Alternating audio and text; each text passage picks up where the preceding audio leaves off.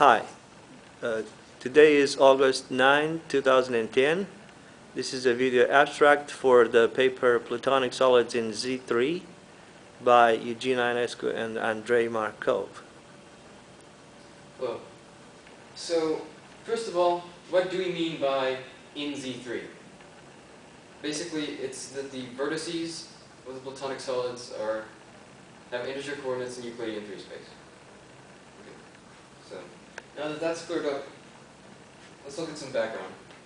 Uh, Dr. Ionascu had uh, been doing a little work on characterizations of equilateral triangles and a bit on tetrahedrons and regular tetrahedrons in Z3.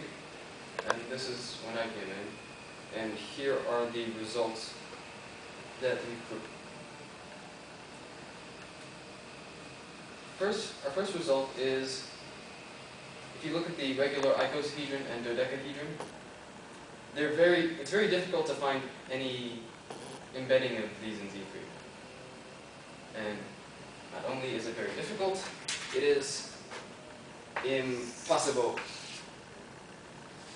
And it turns out that this actually was proven earlier by Professor Bruce Reznick, but he used a um, he used a completely different method than we did. So we don't have to worry about icosahedrons and dodecahedrons anymore. So, on to more interesting results. First of all, we know that there's a few cubes in Z3. For example, take a look at plus minus 1, plus minus 1, minus 1. So, well, this is a very boring cube, but there's a few examples of some more interesting cubes in the paper. But what else we can see is, if you look at a cube, and you take every other vertex as shown, right here, and you connect them, then you get a regular tetrahedron. And theorem two was that every time you have a regular tetrahedron, which have been, which were completely classified with an earlier paper, you, you can complete it to a cube. So in this sense, there's a two to one correspondence of regular tetrahedrons to cubes in Z3 because you can always take the other vertices of the cube and make those into a regular tetrahedron. So it turns out um, the corollary of this, again, looking at the results from earlier paper, that every time you do have a cube in Z3, the side lengths have to be um, odd natural numbers. Oh, and uh, that would seem bad when you mention this, but we're only looking at irreducible uh, solids, so that if you try to scale it down anymore, they will no longer have uh, coordinates with integer, uh, integer coordinates. So, theorem uh, 3, which was which is listed as 3.4 in the paper, concerns how to relate um, octahedrons to cubes. So we know that there's a duality between octahedrons and cubes. Mainly, if you take the centers of the bases of a cube, um, you get an octahedron, and if you do the same thing again, you get a cube.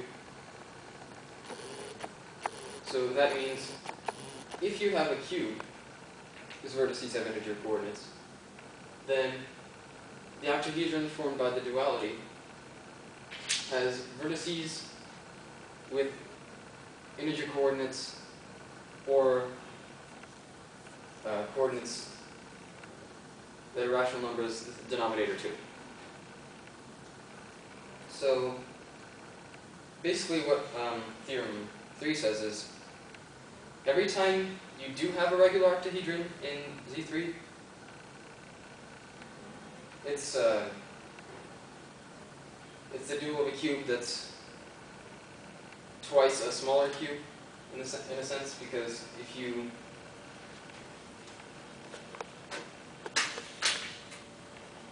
take this octahedron, you take these three vertices and the midpoints of three sides on the cube and this vertex,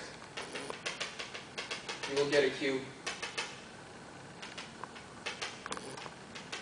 Sorry, you have to take the center of the octahedron too, but you will get a cube which has all integer coordinates. And that completes our classification of the octahedron in terms of everything that happened before. So, there's a few other things we can mention. We also looked at what if we restrict the coordinates atomic solids to lie in the set 0 to n cube, so right, that cross, that cross that, in uh, all the coordinate directions. Then we get a few, uh, we get a few interesting sequences and they're listed on the uh, Encyclopedia of Integer Sequences online as, oh, these two, I'm sure you can, I don't want to read that up.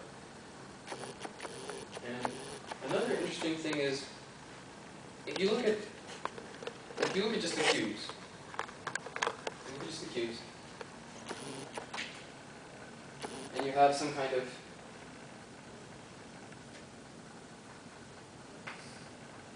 cube in a weird position. So there's, say, one side going out this way, one side going out this way, one side going out that way. You get a class of orthogonal matrices such that um,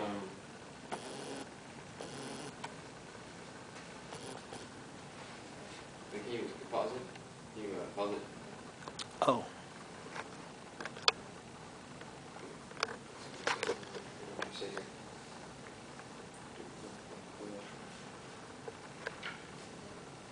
uh, the coefficients, orthogonal. yeah, if you inject the Orthogonal matrices with, uh, with uh, rational coefficients fractional coefficients. and uh, Well, If written in- uh, written in reduced form will have denominators, uh, you can point out to the corollary. Denominators will be odd numbers all the time. And, um, and it seems like, I mean, they're determined essentially, essentially by uh, up to products with uh, orthogonal matrices with, with entries 0 and 1. And it seems like the first, the first, uh, the first denominators, when you have two essentially different ones, are for 13. And that you can stop here. What, what do you, what do you want to ask? No, I was just, uh, I was just trying to think of a better way to say this. Oh, okay. And, um, Um, but that, yeah, that, that seems, that seems fine. Wait a second. So, um. We can say how much that- that? Hmm? That, how much time was all this? uh, right now, it's, uh,